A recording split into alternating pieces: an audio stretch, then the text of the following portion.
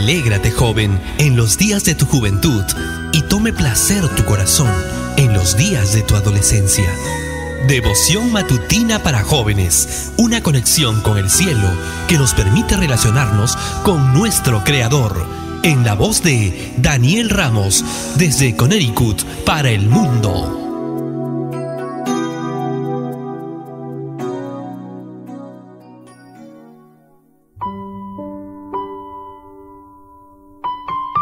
¿Cómo están queridos amigos? Tengan cada uno de ustedes muy buenos días. Hoy llegamos al día sexto de la semana, día viernes 9 de octubre, y quiero tomar unos minutos para saludar a cada uno en el lugar donde se encuentren. Posiblemente están en casa o tal vez dirigiéndose ya a la universidad, al trabajo, no lo sé. Sin embargo, sé que Dios bendice tu vida en cada momento. Recibe un abrazo de parte de tu amigo Daniel y recuerda, sonríe hoy que es un día especial. La matutina para hoy trae como título Dos en uno, primera parte. El texto bíblico se encuentra en Mateo 19, 4 y 5 y nos dice, ¿No habéis leído que el que los hizo al principio, varón y hembra los hizo y dijo, Por esto el hombre dejará padre y madre y se unirá a su mujer, y los dos serán una sola carne?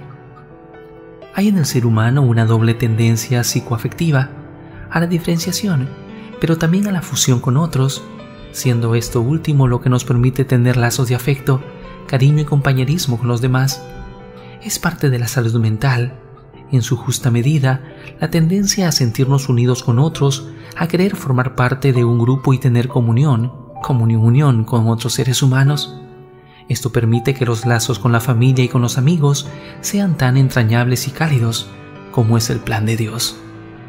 Esta tendencia a la unión, a la fusión, alcanza su máxima expresión en la unión y la fusión de dos vidas complementarias en el sagrado vínculo del matrimonio. Es tan grande e importante esta fusión de dos vidas, tal como Dios lo planeó, que el Creador hizo de manera exquisitamente complementarias no solo las estructuras psíquicas del hombre y la mujer, sino también las anatómicas. Los órganos genitales del hombre y de la mujer están sabia y bellamente adaptados el uno al otro para realizar de la unión sexual y para aportarse mutuamente el placer propio de esa unión.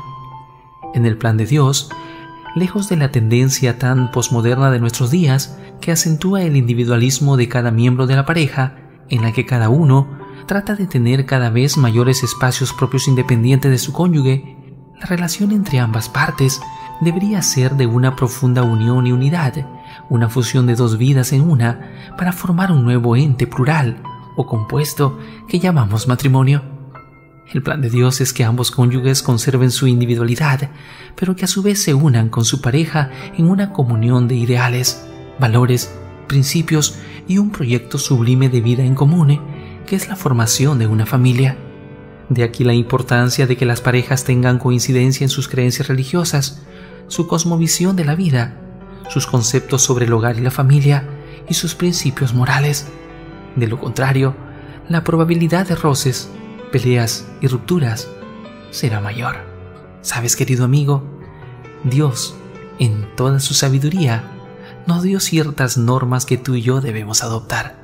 Tal como dice la última parte de la matutina de hoy, cuán importante es compartir tu vida con alguien que tiene tus mismos ideales. Que Dios te bendiga, querido amigo y nos vemos mañana.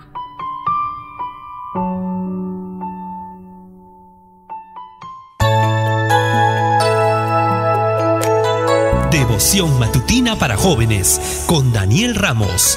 Hasta la próxima.